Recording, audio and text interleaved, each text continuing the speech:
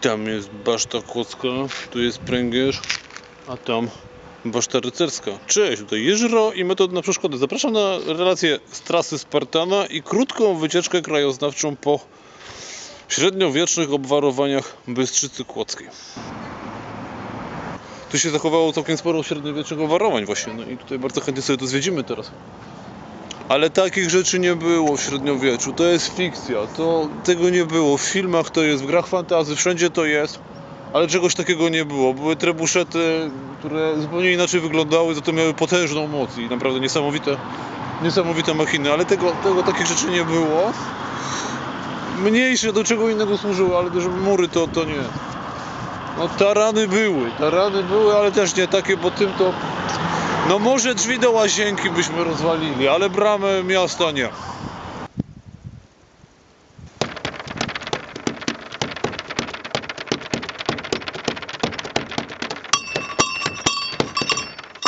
Tak to będzie właśnie jutro.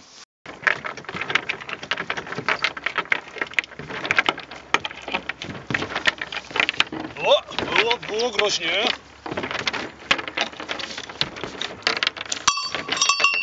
Moja bardzo ważna zasada to jest taka, że jak podchodzę do przeszkody na biegu, to sobie patrzę dokładnie, którą wybiorę lub który tor wybiorę, bo no może mieć to znaczenie, ale często to robię w dzień przed biegiem, jeśli jest taka możliwość. Ale dlaczego to robię? Bo na przykład gdybym chciał przychodzić na chwytach spinaczkowych, no to tu jednego chwytu już nie ma, no urwał się, już go nie ma. Jeżeli przechodziłbym, chciał przechodzić na łańcuchach, tak jak ja przechodzę najbardziej właśnie tutaj na łańcuchach, tu na odmianę jednego łańcucha brakuje.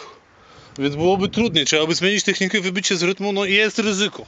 Trzeba być przygotowanym na zmianę rytmu i wybicie z techniki, to jest dobra sprawa, ale warto popatrzeć. Tu, no niby wszystko jest ok, ale ten, ten jest pęknięty i za chwilę odpadnie, więc jeżeli by odpadł, jakbym tu przechodził, to ja też bym odpadł i no i byłby problem, więc dlatego bardzo, bardzo polecam przeglądnąć tą przeszkodę i zobaczyć, którym torem się pójdzie, bo to wiele rzeczy ułatwia później na biegu. A teraz za drzewami z tamtej strony widać szklane pawilony. No nie do końca, tylko twister. Także idziemy nakręcić metody na twistera.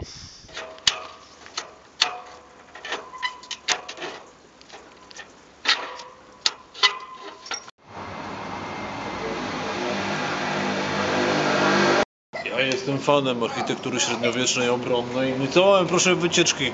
Baszta Kłodzka. I widać, że tutaj był kawałek. Tam jak jest to duże okno, to nie było okno, tylko to było wejście, które szło, prowadziło ten ganek na koronie murów obronnych. Tutaj kiedyś była brama i pewnie był jeszcze ten gatehouse. Czyli nie jedna brama, tylko podwójna brama, żeby właśnie było lepsze zabezpieczenie miasta.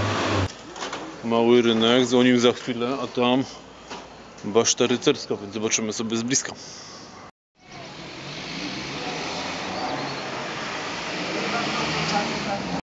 Przyjechaliśmy na Spartana i taka bardzo fajna niespodzianka. No ja średniowieczną architekturę bardzo, bardzo lubię. Baszta rycerska. No w Bystrzycy Kłodzkiej były trzy w ciągu murów obronnych i wszystkie trzy się zachowały, więc to rzadki przypadek. Całkiem sporo tych murów też się zachowało. W Krakowie mieliśmy 48, zachowały się tylko 4. A tutaj są te trzy, więc no jest to też super przykład właśnie. 1300 to są te lata, kiedy to zbudowali. No to nie, nie ma tego fragmentu muru, który był. Widać, że stare, bo na przykład nie ma machikuł tutaj. Czyli tych takich koronek na górze wieży. To właśnie były, ale nie ma. Dlatego widać, że stare.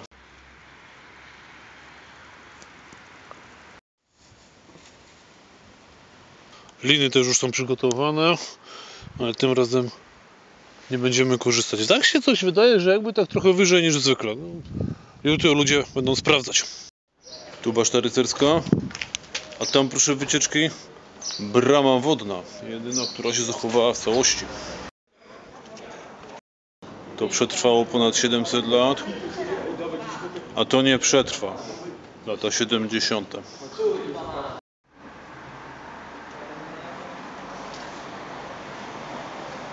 A tu jest brama wodna z broną i krenelarzem na górze. Ten krenelarz to są fachowo te takie blanki, za którymi stali ci, którzy strzelali. albo coś rzucali, a z drugiej strony mogli się chować za niej, ciężko by było ich trafić. Na tym, taka była idea tego, tego elementu. Jest brona. Za broną była brama, czyli mamy podwójne zabezpieczenie pierwszego wejścia i w środku tutaj bardzo często było jeszcze tak, że brama była podwójna albo nawet potrójna. Chodziło o to, żeby był, najsłabszy punkt muru, więc z jednej strony, z drugiej właśnie robiono go najmocniejszym. A często jeszcze w suficie tutaj były dziury. Z angielska murder holes, takie, że jak ktoś sforsował tą pierwszą, ale jeszcze nie sforsował tej drugiej, to różne rzeczy tam na niego z góry leciały. I nie tak jak to w filmach jest gorący olej, bo olej był w tamtych czasach zbyt drogi, po prostu się lało wrzątek. Też wystarczyło. Te takie wystające ponad ulicą murów to były machikuły. No tu jest jakiś ciekawy przykład, bo normalnie otaczało to całą wieżę, no i chodziło o to, żeby wystawało ponad mur, jak się ktoś schował pod tym murem, a tego nie było, no to wtedy było bezpieczne. A jak było wystające, to można było na niego strzelać albo coś zrzucić z góry i już nie był bezpieczny, jak schował pod samym murem. Tutaj jest na odmianę ciekawy przypadek, bo to jest mniej obronna rzecz, tylko najprawdopodobniej tutaj też coś można było komuś zrzucić na głowę. Równie obronnego, no najczęściej to po prostu była toaleta. I tam był na górze wychodaczek, no i wystawało na przykład w Krakowie przy baście sandomierskiej też takie właśnie kilka lat temu zrekonstruowano. Właśnie były toaletki, tam się wystawiało i spadało. Co? No i Dunkwall. Tutaj będzie prawdziwa dezynfekcja. Proszę wycieczki, bardzo to ciekawie wszystko tu wygląda. No mury miejskie w Bystrzycy Kłodzkiej zachowane niemal w całości. Tu jest też taki ciekawy przykład architektury, która tak kaskadowo spada z ulic. Na bardzo skok- stoku są zbudowane te domy i często jest tak, że pi- piwnice mają po dwa piętra. Poniżej poziomu ulicy są jeszcze piętra, no bo jest tak duże nachylenie, że właśnie tak tutaj budowali. No normalnie jak jakieś włoskie miasteczko. Cudze chwalicie, swego nie znacie. A poza tym to jest świetny efekt uboczny właśnie jeżdżenia na Spartany inne biegi inne zawody. No, prawdopodobnie bym tutaj nie przyjechał i bym się nawet nie dowiedział, że takie fajne rzeczy są tutaj. A, a tak to się dowiedziałem, no i wy się też dowiadujecie. Mamy multiryga. Za chwilę to jeden film sobie nakręcimy. Ale to co mówiłem wcześniej, warto zastanowić się, którym torem się będzie szło. No bo tutaj gołym okiem widać różnicę. No jedne sznurki są krótsze, drugie są dłuższe. Coś jest zawieszone mniej lub bardziej w linii, więc jedne mają węzły, drugie nie mają węzłów. No to są takie wszystkie drobiazgi, które mogą zadecydować o tym, czy się przejdzie, czy nie. Jak się, jak to jest na granicznym wysiłku. Dzwonki też często bywają różnie zawieszone. Albo jak się mocno walnie, to się zawinie o konstrukcję i potem jak się idzie, o dzwonka nie ma. No więc dlatego warto patrzeć.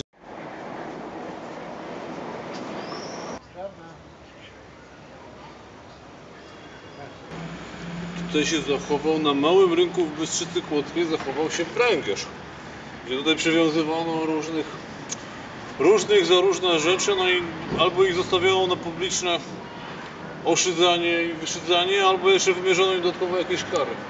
No i zachowało się takie pojedyncze kuny tutaj były. Tu się przywiązywało gościa.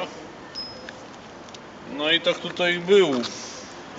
Właśnie karany publicznie. No i co jeszcze? Kuny zachowały się w Krakowie przy kościele mariackim. Jak jest to boczne wejście dla zwiedza- zwiedzających, to tam po obu stronach się zachowały kuny, takie na odmianę na szyję zakładane. One są tak i są na takiej wysokości umieszczone, że się tam nie dało ani stać, ani usiąść. No i ten ktoś, kto tam był, no to no dość niewygodnie mu było. I to w Krakowie się zachowało.